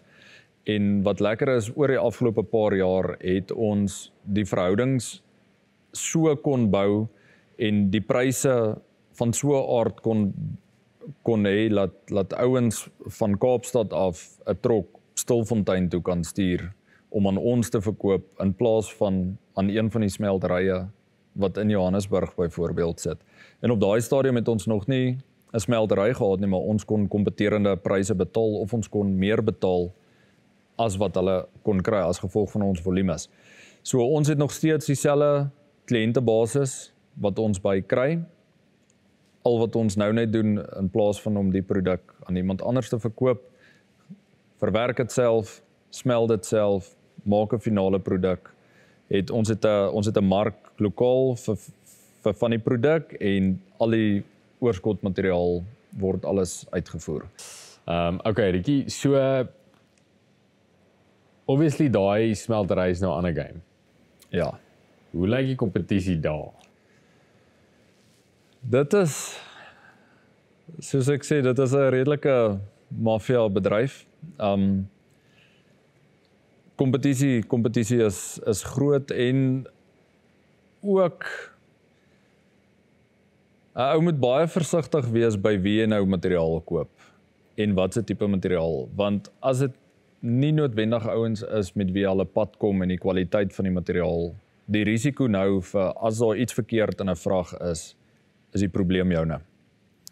En dit het ook al in die in die skrap baie keer gebeur waar kompetisie 'n ander kompetisie probeer benadeel deur sekere goed wat wat 'n resep vir chaos is op 'n vrag te kry. Um ons het byvoorbeeld by die staalsmelterye as jy 'n trok stuur en daar's iets op die trok wat radioaktief is, het hulle boetes, het sy dit 'n 30000 of 'n 80000 rand boete is sonder om die trok af te laai. Hy net kom net op hulle perseel, trigger hulle scanners, dadelike boete. Sê ek af mekaar goedjie stuur. So en dit het al met ons gebeur. Dit het ons het ons het 'n paar jaar terug het ons trokke uitgestuur en ons het trok na trok da, dan het 'n ou argumentsonthaalwe 5 of 8 of 10 trokke wat hy op 'n dag uitstuur. En die trok kom by die smeltery radioaktief. Boete. Halfuur of 'n uur later volgende trok, volgende trok, volgende trok. Laat ons op 'n tyd gesit het met 'n leer so dik van vragte wat wat in 'n week of 2 weke afgelaai het met miljoene rande se boetes waar ons nie kon uitvind want ek meen ons toetsie materiaal wat hier aankom en ons het toe ons ons moes toe dit was dit was redelike hoë vlakke van radiasie gewees en ons moes die ouens van Nexa uitkry. Hulle het met hulle suits gekom. Uh al hulle loodpakkies kop toegemaak. Dit lyk amper so daai monsters ink wanneer hulle die kind se kouse optel. En hulle het toe agtergekom dat daar uh ek dink ek ek dink dit was cesium wat op daai tyd dit wat 'n uh, wat 'n uh, materiaal is wat hoogs radioaktief is wat by hierdie grond aan die buitekant van ons van ons erf by die hekke begrawe is en voor die weegbrug. So wanneer die trokke deurry, die materiaal was nie contaminated nie. Maar wanneer die trokke deurry en daai stof aan die wiele vassit, as die trok by die by die smeltery kom, dan sy radioaktief, hulle raak nie aan daai trok nie. Hulle laat weet dadelik die NNR wat die National Nuclear Regulator is. Sê hoor hierdie ou stuur radioaktiewe vragte dit en gelukkig ons het ons het 'n radioaktiewe lisensie omdat ons met die myne besigheid doen, baie van die myne verkies jy moet 'n uh, of nie verkies nie, dit is 'n vereiste dat wanneer jy by hulle koop, jy moet 'n gelisensieerde radioactive license site wees. Elke jaar audits en inspeksies is 'n duur storie, maar ongelukkig as 'n ou by die myne materiaal wil hê, is dit iets wat 'n ou gaan moet hê. So dit gebeur. Ouens saboteer ander ouens se trokke, vragte wat contaminate word. Ekskuus as iemand baie keer in die skrip ons het al goed gekry wat ons vir kliënte terugstuur en dan 'n week of twee later kom verkoop daai kliënt se oppositie dalk daai selfe goed aan ons. Dan is dit goed of of 'n kliënt wat ons laat weet dat sê hierdie hierdie materiaal kom in en 'n ou sê moenie die goed koop nie. 'n Paar dae later kom dit van iewers anders af. So dit is maar dit is dis ongelukkig hoe dit is so ou moet versigtig wees vir wat jy koop, by wie jy koop en dan dink ek ook is dit belangrik om die verhoudings wat jy wat jy gebou het oor die afgelope tyd en die ouens wat jou heeltyd ondersteun het aan te hou support. Regte pryse te gee, goeie dienste gee, regte gewigte te betaal en hulle in 'n posisie te kan sit om beter te kan meeding. En um so ja, maar kompetisie kompetisie is is taai. Ek het uh, vandag weer 'n kliënt wat my gebel het en gesê het op op 'n ander produk, hy kan nou hierdie prys kry op hierdie produk. Dink ek by myself Dis iemand wat 'n wat 'n vragge 'n bakkie vragge week byvoorbeeld aflaai. Maar ouens wat trokke elke dag van daai produk aflaai by die smeltery kry nie daai prys nie. So dit is ook moeilik. Ja, dit is dit is ook maar kompetisie sal daar altyd wees en dis 'n goeie ding. Dis lekker aan die aan die een kant om kompetisie te hê. Um ek dink dit is belangrik ook kompetisie Hulle sê kompetisie hou altyd die, die volgende ou eerlik. So as ons die regte prys betaal, weet ons die kompetisie betaal die regte prys want daar is maar baie ons baie politiek, maar baie van die groot maatskappye en dit is 'n ding wat wat skrap ouens baie keer benadeel. Die markprys is hier maar die smelterye kollude baie keer en baie van hulle was al met die kompetisiekommissie en daai tipe goeters wat hulle hulle beheer die wat hulle prys. ja, waar alhoewel dit oppositie is, jy, dis maar ouens wat kinders gaan na dieselfde skole toe in Johannesburg, is dieselfde kultuur of hulle is in dieselfde groepe en waar die ouens besluit dis die prys wat ons gaan betaal en hierdie gap gaan ons vir onsself hou. En op die einde van die dag benadeel dit ouens soos ons want ons kan ons is gelimiteerd op 'n prys wat ons kan betaal. Ons moet dit weer by iemand anders koop wat sy profit moet maak. Hy koop dit dalk van iemand anders af wat met 'n kruiwaag kom wat net daai ding het. So die effek wat wat dit het, het as kompetisie nie die regte prys betaal nie, is die ou wat die swaarste kry, is die ou op straat. Dis die ou wat letterlik hy hy hierdie een ding om te verkoop, dit is iets waarmee hy nou moet gaan melk of brood of kos koop en op die einde van die dag kry hy nie die regte prys nie want die ou boom kry nie die regte prys nie want ons kry nie die regte prys nie. So die kompetisie is is 'n baie goeie ding om mekaar eerlik te hou. En dit dis wel van ons hou. OK, Rick, so sê gou vir my die produk wat jy finaal maak. Yes. Die oorskot wat jy uitvoer. Yes. Waar hoe werk dit? Wie sê is besien net eenvoudig om iets uit te voer nie. Wat wat ja. jy gedoen? So die uitvoere was ek wil amper sê uitvoere was my grootste challenge gewees want niemand niemand gee vir jou raad op dit nie. Niemand. Ek het ek het met met groot maatskappye in Johannesburg en in die Kaap gepraat en gesê oor die as as ek hierdie ding sou wou uitvoer, hoe gaan 'n ou te werk? Dan sal hy ou 'n kort antwoord kry van jy bel my en jy verkoop dit aan my. So so tipe iets. Dit is dis glad nie enige inligting Maar wat iemand met jou sal deel. Tel nie. en letterlik net hulle het- gebel en gehoor. hoor Ek jy, het begin jy bel en ek het gesien ek gaan nie regkom nie. Ons het ons het 'n paar jaar terug het ons al materiaal begin uitvoer. Um staal wat wêreldwyd gegaan het, staal en aluminium en daar was op 'n tyd wat 'n ou koper skrapkoper kon uitvoer. So toe het ons altyd deur 'n oorseese broker gewerk wat ook nie vir jou riglyne gee nie. Daai ou gee vir jou 'n prys vandag. Hy sê vir jou dis die hoeveelheid wat ek soek, dis die gradering wat ek soek. Wanneer kan ek die container stuur? En hulle stuur die containers. Jy weet nie waartoe gaan die containers nie. Jy weet nie hoe werk die logistiek nie. Jy werk jy weet nie hoe werk die clearing en die forwarding nie. Jy weet nie hoe werk die belastings nie. Jy het niks. Daai ou gee vir jou prys opgetel by jou jy sorg net dat daai container gepak is en hy's uit. Toe na dit het daar export bans ingekom in die scrap by baie van die produkte. Nie alles was ingesluit nie, maar die hoofprodukte staal kon jy op 'n tyd nie eksport nie. Uh koper is nog steeds 'n probleem. Jy kan nie koper uitvoer behalwe as dit 'n finale produk is wat gemaak is nie, maar scrap. So dit is 'n 'n klomp goed wat die regering in plek gesit het om te probeer kyk of hulle die hoeveelheid diefstal in die land kan probeer beperk want hulle redenasie was as iets gesteel is, word dit uitgevoer wat wat nie die geval is nie. En hulle toe daai bans ingesit, sekere produkte was ingesluit, sekeres was nie ingesluit nie. Toe het hulle 'n prysstelsel ingebring om te sê sou jy hierdie produk wil uitvoer, moet jy dit eers aan die lokale mark offer as die lokale mark dit nie soek nie en jy het bewyse eh, dat jy nie 'n lokale mark het nie, dan kan jy aansoek doen vir 'n uitvoerpermit. Dan kan jy dit uitvoer en toe hulle 'n 'n prysstelsel ingebring wat wanneer ek argumentsondalwe vir 'n vrag aluminium wat ek 'n beter prys oor see kan kry alhoewel die mark is wat dit soek, die prys oor see is, is argumentsondalwe beter.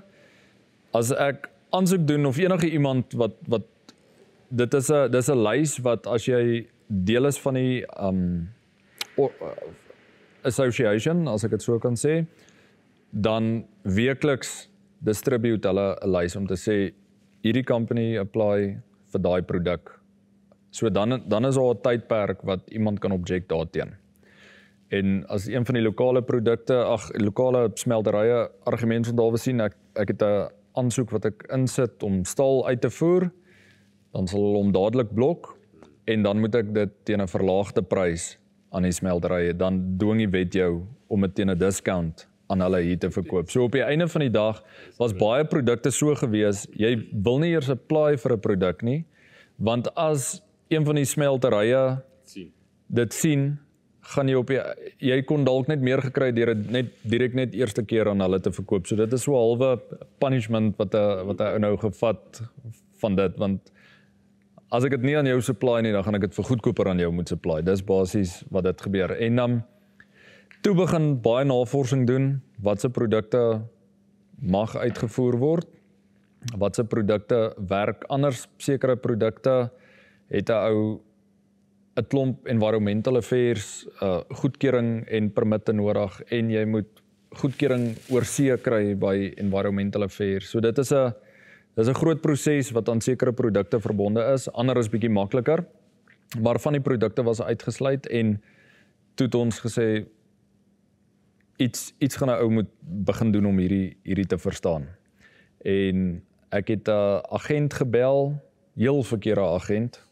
Agent gebel en gesê hoorie, hierso is iets wat ons wil uitvoer. Weet nie hoe dit werk nie, kan julle ons help? Ja, hulle kan ons help. Op die einde van die dag het hulle minder geweet as ons eintlik. Gelukkig toe nou nie met die agent aangegaan nie. Maar dit was een van daai situasies van jy weet môre gaan jy regkom, dan gaan jy goed deur wees, dan jy uitgesort, dan kan hy die volgende ding aanpak. Môreoggend dan sou iets anders wat voorval. Askies, jy kan nie daai produk eksport nie. Of hierdie produk moet jy eers deur hierdie en hierdie kanaal gaan. Dan bel 'n ou, dan werk daar niemand by die kantore nie, almal werk by die huis. En dan kan hulle nie 'n boodskap vat nie en dan is daar nie internet nie. So daar was baie challenges gewees oor dit en elke dag 'n bietjie meer uitgevind, baie rondgebel en toe onsself geleer van hoe die hoe die hele invoer uitvoer bedryf werk wat wat ek dink vandag is 'n is 'n is 'n awesome voorreg eerstens om die om die kennis daarvan te hê want dit is baie interessant maar ook dit dit skep vir 'n ou geleenthede om dit te doen. Definitief. En die eerste produkte het in die buiteland geland wanneer? Uh laas jaar Desember. La um, ek dink ons het ons het laas jaar April het ons begin en ons het vir 'n maand lank gehardloop en die produkte begin uitvoer. Dit was omtrent 'n maand lank wat dit op op die skip was wat ook 'n groot risiko is want jy kry nie jou geld as dit nie geland het nie. Ja, dis 'n risiko wat jy vat. So nou nou sit jy dalk met 'n met 'n fabriek met 'n produk Maar jy het nie idee die ouens oor see kan jy kan hoeveel navorsing oor hulle doen nou goed, maar dit bly altyd 'n risiko want die oomblik wanneer daai goed op die skip gelaai is, as jy nie jou geld kry nie om dit weer te probeer terugkry of dit is dit dis 'n gemors. So dis 'n risiko wat ons wat ons gevat het. Ons het met 'n goeie maatskappy begin hande vat. Die produk word gelaai. Dit was argumentsonthaalwe my maand laas jaar eerste vragte gelaai. En einde Mei het die eerste materiaal daar aangekom en die en die betaling het ingekom en daar het ons gesê hou by die ouens. Hou hou by hou by die ouens vir nou. Ons het uh, op die op die einde van die tyd was dit nie ons het nie net een maatskappy wat ons wat ons aanlewer oor see nie. So ons ons glo jy kan loyaal wees teenoor meer meer as een maatskappy en dan ook in verskillende lande of verskillende areas wat 'n ou veel naam kan bou en volumes kan bou en waar ons nou redelik volumes doen. Redelik volumes skuif, containers wat baie gereeld laai En dit is 'n dit was 'n lekker projek om om aan te pak en awesome. sien kans vir die volgende een. Hoorie Rix, okay, sê gou vir my, ehm um, dit voel my ek gaan nou deur alles gaan wat wat jy aanpak, maar uh, jy het onlangs 'n uh, liefde vir vlieg ontwikkel. Yes. hoe, hoe kom en uh, waar het dit begin? Alrite, so Ek dink dit was 2008 as 'n as 'n oue smeltery het in die, in Johannesburg dan kan jy maar seker rondvlieg. Is dit nie rede?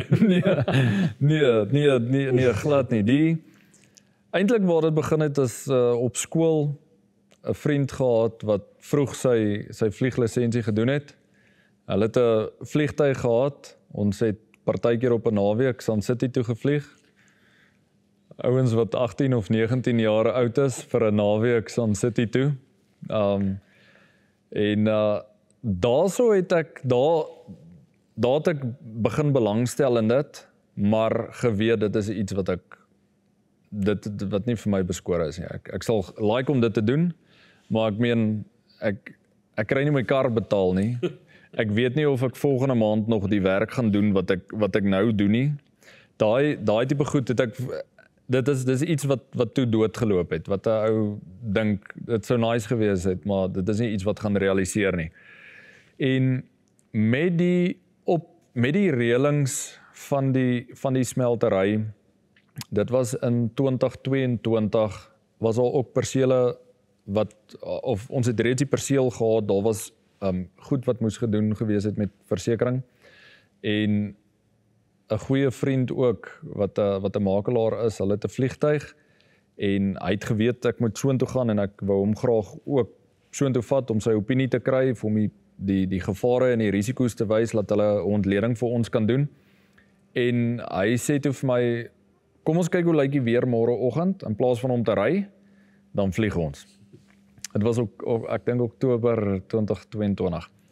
En daai oggend 6uur bel hy my vra vir my as ek al wakker. Ek sê ja, ek's aangetrek, klaar gestort, kinders nou net wakker gemaak, gaan hulle nou aantrek.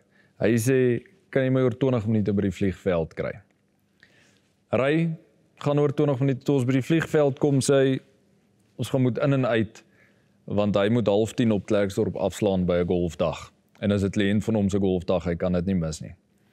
Ons het um ons het half 7 die oggend opgestyg hier in Klerksdorp, 5 oor 7 land ons by Rand Airport.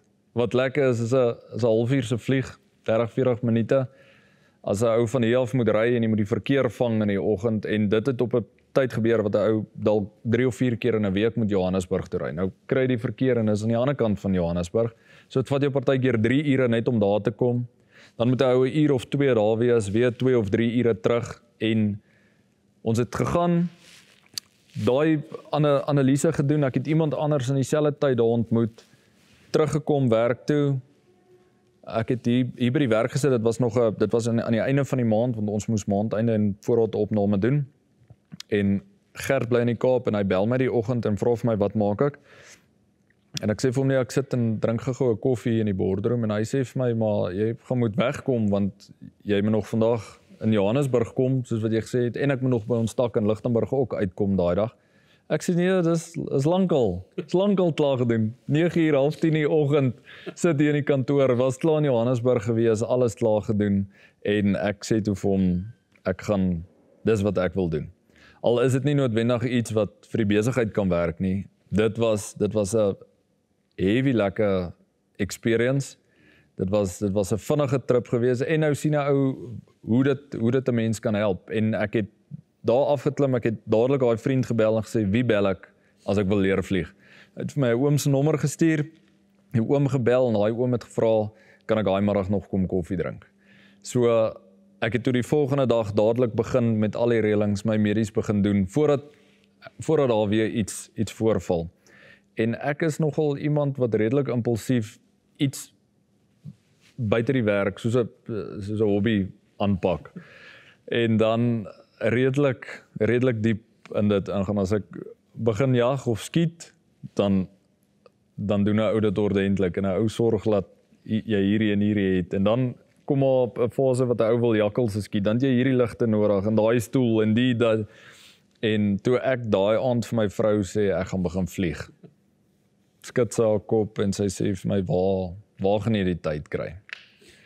En um ek sê toe ek ek sit terugkie en ek sê vir ek gaan dit doen maar ek gee my kommitment dit gaan glad nie familietyd vat nie ek sal ek sal dit doen sonder om 'n minuut se familietyd te wat eintlik iets is wat nie lekker sin maak as jy mooi daaroor dink met die min wetend hoeveel werk daar moet ingaan om dit te kan doen.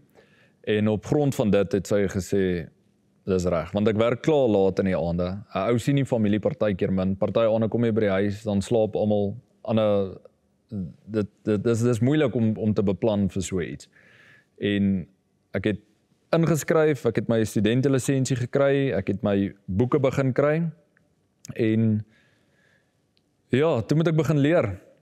En wat moeilik is, ek kan nie altyd by die werk wegkom as jy wil na vliegklas toe gaan, het dit dit is om te vlieg of vir 'n vir 'n les um van die teorie, dan is dit iets wat jy jy moet klaar weet jy gaan 2 of 3 ure weg wees by die werk en dit is nie iets wat moontlik is altyd nie.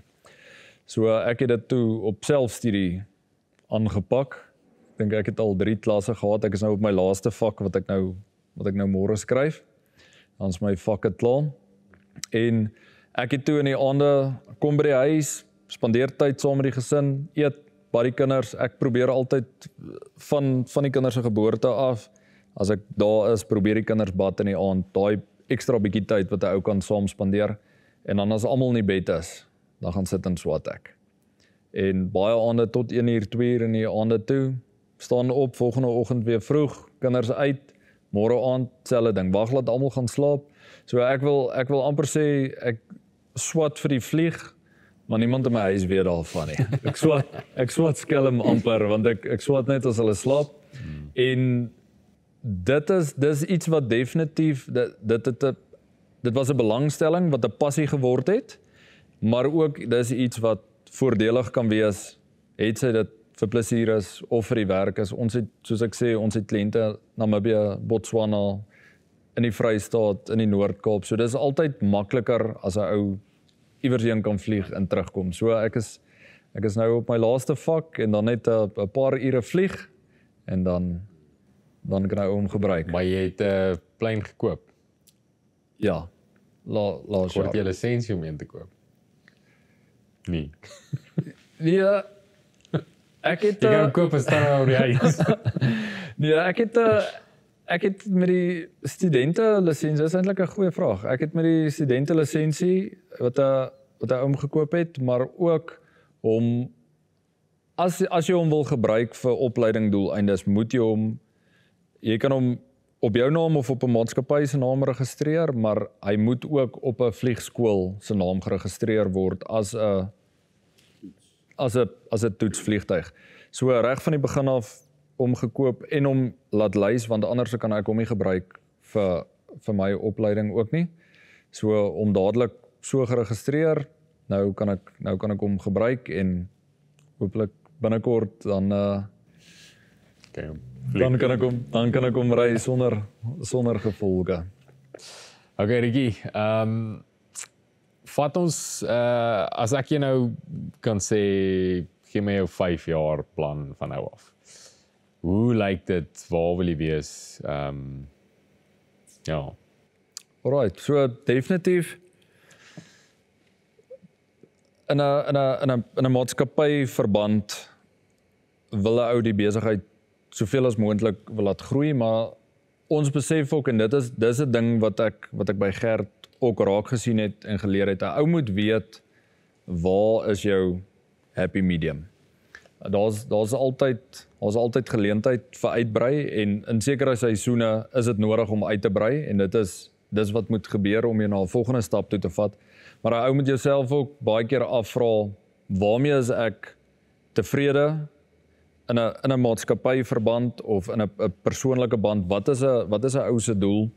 Um wil 'n ou as jy nuwe goed aan want met elke ding wat jy aanpak, ekstra stres, ekstra geld, ekstra uh, dit dit raak dit raak net dit raak net erger. En baie van die ouens in die skrapbedryf het het met 'n sit met 'n idee van hulle wil die grootste ou in die area wees. Of hy wil probeer kyk of om die grootste company in die land te kan wees wat partykeer partykeer wil dit voorkom asof dit moontlik dalk 'n 'n ego 'n ego ding kan wees en nie noodwendig van ons het die potensiaal of ons het die mark om dit te kan bereik nie maar meer van ek wil dit doen want dit is dis wie ons gesien wil word en daar het ons nogal redelike 'n lekker verstandhouding van waar ons gelukkig is en wat 'n ou se kapasiteit is om te kan groei. Ons het redelik ons level bereik wat ons wat ons graag sou wou in die afgelope paar jaar. Maar ons het ook onsself reggemaak en gekoop met die regte uh werkers en die regte kollegas in die maatskappy om jou op te sit vir groei, om jou op te sit vir jy weet hierdie afdeling in die maatskappy hardloop 100% 100% reg. Daar is daar is um spasie om om hierdie gedeelte dalk uit te brei en daar's dalk ander afdelings wat 'n ou jou plafon bereik het en dit moet 'n ou skuis ook kan identifiseer en sê daai kapasiteit wat ons daai het, dit is dalk waarmee 'n ou gelukkig is. Um en dis die tipe risiko wat wat 'n ou bereid is om te vat, maar hier is ons nog 'n gedeelte wat kan groei. En ek dink ons besigheid is van so 'n aard met ons het almal wat hier werk as ouens wat jare al hier werk. Hier's hier's mense wat by die maatskappy is langer as wat ek al hier is wat vandag nog hier werk en wat 'n ou weet gaan nog 'n paar jaar hier wees.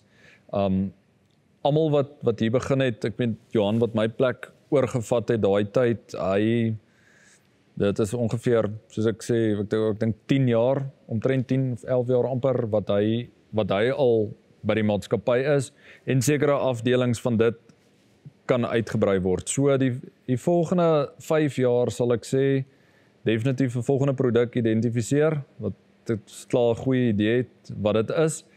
Klaar die wiel aan die rol begin sit vir hoe dit sal werk om 'n finale produk van dit te kan maak. So ek geniet die ek geniet die die skrap gedeelte maar die die prosesseringsgedeelte is ook iets wat nou 'n nuwe belangstelling gekweek het want dit is dit is uh om 'n om 'n om 'n produk te vervaardig is meer as net om iets aan te koop en dit te verkoop. Jy het sekere standaarde waaraan jy moet voldoen. Daar's daar's daar's baie red tape oor dit, maar daar's baie geleenthede ook in dit en uit hierdie hierdie afgelope tyd wat ons nou al aan die smeltery uh, spandeer het, begin nou agterkom wat werk op watse tipe beginsels min of meer dieselfde watse ander produkte is iets wat heeltemal anders werk wat 'n ou nie jou kop in daai baie nes wil insit nie maar ek dink ons het ons volgende produkte reeks klaar geïdentifiseer al klaar gesprekke opgesit om binne die volgende 4 of 5 jaar uit te brei en nog 'n smeltery op te sit vir nog 'n produk. Awesome. Okay, Riek, so ek het gewoonlik aan die einde vraagie vorige gas ehm uh, hy of sy moet nou 'n vraag gee. So die vorige gas was Laura. So sy obviously sy Engels, so ons gaan dit maar Engels doen. Um if fear is what holds us back, dis die dis die stelling. Um if you could not fail and it's guaranteed not to fail, what would you strive to do? Ja. Ja, dit sal 'n dis eintlik 'n dis eintlik 'n eenvoudige ding want fear is die ding wat hou wat hou terughou en wat hou baie keer beperk of jou jou gedagtes en jou en jou en jou drome eintlik afsny. Ek sal sê ja, uitbrei en om 'n legacy te bou. Dit is dis definitief een een van ons values ook is is is mense en integriteit en en en verhoudings met mense en wat ons graag wil doen is nie om 'n maatskappy te kan opsit wat net sekere mense voordeel uittrek nie, maar om 'n om 'n ding te kan opsit en almal te kan in, laat inkoop in 'n idee om te weet hoorie maar ek het kinders wat dalk nou op hoërskool is wat op laerskool is maar die dag as hulle klaar maak met skool en hulle sou nie iets anders wil doen nie om die geleentheid te kry om soveel as moontlik van die mense wat hier werk se volgende generasie deel te kan maak om dit na 'n volgende generasie te vat. En ek sal sê as as veer 'n ou nie gaan beïnvloed nie sal dit definitief wees om te kyk Hoe kan jy jouself uitbrei tot op watter kapasiteit en watse tipe stelsels jy in plek kan sit om soveel as moontlik van die mense wat nou hier is, se kinders ook te kan werk? Want ek kan net dink as as ek jonger was en die geleentheid dalk kon gekry het om saam met my pa te werk, sou dit vir my dit sou vir my amazing gewees het en ek dink dieselfde as my kinders die kans kry om in die tyd wat ek nog in 'n besigheid is iewers dit saam te kan doen of as iemand dalk nie meer hier is van die ouers nie, maar van die kinders kan aangaan en sê hoor ek doen dieselfde werk as wat my pa of my ma gedoen het by dieselfde maatskappy. So dit sal wees om om die volgende generasie deel te maak van ons besigheid en om nog lank hier te kan hê. Ja. Dis ek dink is 'n massive ehm um, dis 'n massive voorreg want ek dink uh, in in al die bedrywe wat wat jy daar's soveel kennis wat jy opbou in 'n ou se loopbaan. Ehm um, ek dink die ouer generasie wat deur goed al is. Ja. Ehm ja. um, en die goed wat jy nou deur gaan, ek meen niemand voor jou het jou geleer hoe om in en ex, in en uitvoere ja. te doen nie. Daar's niemand wat jou geleer het van die regulasies van dit nie. Ja. Hoe werk 'n smeltery nie, maar die goed wat jy opgebou het As jy dit nie vir iemand kan gee nie, dan is dit eintlik nutteloos want dis waar. As jy nou iets oorkom, dan is dit weg. Waar sou dit hou? Dit staan nie. Dit dit voel vir my ehm um, en dis uh, jong ouens ek praat nou baie met jong ouens maar my grootste raad aan jong ouens is praat met ouer ouens hmm. want uh, dis hulle wat die kennis het um, ek het in die week met my pa 'n uh, uh, gesprek gehad selfs hierdie maar jy weet net om te hoor is ek net om te tap want hy ek meen hulle het soveel ervaring en ek dink dis amazing ehm um, dat dit jou doelwit is. Ehm um, ja, so ek het neergeskryf twee goed wat my uitstaan het ehm um, jy het heavy baie gehamer op verhoudings. Ehm um, en ek dink dis massive belangrik in enige besigheid as mens 'n ding wil bou wat wat hou en wat vir 40 jaar of 50 jaar of twee generasies hier is, gaan dit oor verhoudings. Dit gaan oor ehm um, ons het met jou paale besigheid gedoen en dit is nog steeds op dieselfde manier. So en dis in my bedryf ook dink ek uh, jy weet ek ek gee advies want my pa het my gewys dis hoe mense doen want hy het dit al vir 40 jaar gedoen. So dit gaan werk want dit dit het vir 40 jaar gewerk. Miskien nie heeltemal op dieselfde manier nie, maar uh, dis dis dis dieselfde proses. Dis dieselfde dis dieselfde ehm um, proses wat ou deurgaan. So dit het vir my baie uitgestaan. En obviously ek dink hierdie is die laaste een en dis van toepassing op jou is uh, om nie nee te vat vir antwoord nie. Ehm um, ek ken jou nou al lank so ek dink dit is ehm um, ja. Ek dink veral as ek nou hierdie gedoen ek mense is ge, ge mense word na iemand toe aangetrek um in my geval nou. Ek love it om by mense te sit wat nie wat stroom opswem ek dink almal wat ek al geïnterview het is eintlik jou die jou paadjie was nie was nie die nie. Jou paadjie was eintlik heeltemal daai kant, maar jy het op 'n tyd besluit, luister, ek gaan aan die ander kant. En selfs buite die boks te dink om nie net nie net een ding te doen nie, om te kyk wat is die swakste lyn van julle besigheid en eintlik te sê luister, ons sal vir julle hierdie goed voorsien. Ons het nog hierdie getalle nie, maar ons sal 'n plan maak Yes, ja. en net buite die boks te dink. So Rikus, ek is dit vir my 'n massive voorreg om hier te wees. Ehm um, so dankie dat jy ingestem het om dit te doen. Ehm um, dis regtig vir my 'n massive voorreg ehm um, om jou te ken en te sien wat jy mee besig is. Dis 'n moeë inspirasie. Ehm um, so mag dit met julle goed gaan en ehm um, stuur vir Gert hulle groete en Chris. Ehm um, ja, al die beste. Baie dankie. Ek waardeer dit. Dit was regtig lekker. Dit was ek het dit baie geniet. Dankie vir die moeite en die Dankie tyd dat ons dit in Afrikaans kan doen. ja, ja. Dis beter. Ja, ek kry partykeer dan bel ek mense en dan sê ek nog net vir hulle hallo want dit is Engelse mense.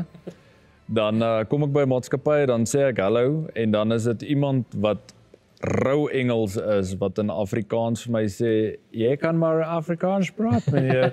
Laat ek laat ek met my met my plat Afrikaans Engels vir hulle hallo sê dan kom hulle agter hulle sal eerder Afrikaans dalk praat as 'n Maar ja, dit is dis dit was baie baie lekker geweest en ek dink 'n 'n ding wat ek graag sal wil noem ook is nie net in hierdie bedryf nie, maar ek sien dit in jou bedryf en ek sien dit in baie ander in die in die motorbedryf en ek sien dit in 'n klomp verskillende bedrywe. Baie keer die ouens wat wat begin buite die boks dink ek dit is die jonger die jonger generasie. En dit was aanvanklik moeilik geweest om as 'n jong ou iemand se vertroue laat hulle jou vertroue in in jou sit 'n kliënt om sy besigheid te kan hanteer as 'n as 'n jong ou maar die manier hoe die hoe elke industrie 'n ou gaan moet aanpas. Baie keer is al goed wat daar's sekere beginsels wat aanhou werk en daar's sekere beginsels wat werk tot, vir 'n seisoen, maar dan gaan 'n ou weer iets anders moet doen en dan kom daar dalk weer 'n seisoen. En ek dink dis iets wat 'n ou moet gebruik om jouself te encourage vir die vir die jonger ouens ook. Is ou moenie die feit dat jy dat jy jonk is dalk dink dit is nie iets wat in my lyn is of so dit ek sien die die jonger ouens begin dis lekker. Dis lekker om dit te sien. Dankie vir die tyd. Thanks vir jou. Baie dankie.